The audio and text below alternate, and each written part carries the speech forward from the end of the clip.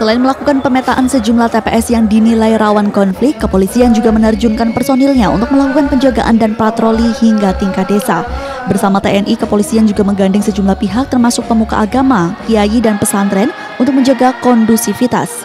Untuk menjamin netralitas personilnya, kepolisian memastikan kelancaran pemilu tahun ini dengan menindak segala bentuk gangguan keamanan pemilu, termasuk gangguan oknum yang sengaja menghalang-halangi warga masyarakat yang akan melakukan pencoblosan sesuai dengan pilihannya.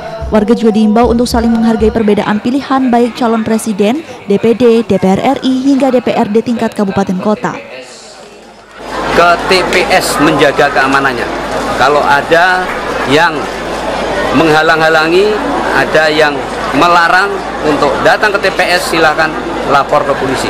Kita akan mengamankan sampai ke TPS. Demikian. Pengasuh Pondok Pesantren Islamic Study Center Aswai Jalintang Songo, Ustadz Heri Kuswanto berharap masa tenang dimanfaatkan untuk saling menjaga keamanan di lingkungan masing-masing.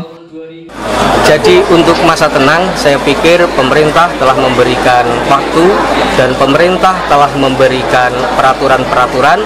Kita mohon seluruh masyarakat dan warga bangsa dan negara untuk melaksanakan hari tenang sesuai dengan peraturan yang berlaku sehingga kita akan terjaga ketertiban dan keamanannya.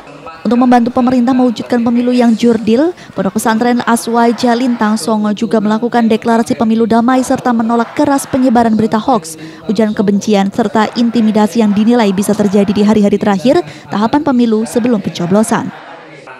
Fauzan Ahmad, Jogja TV.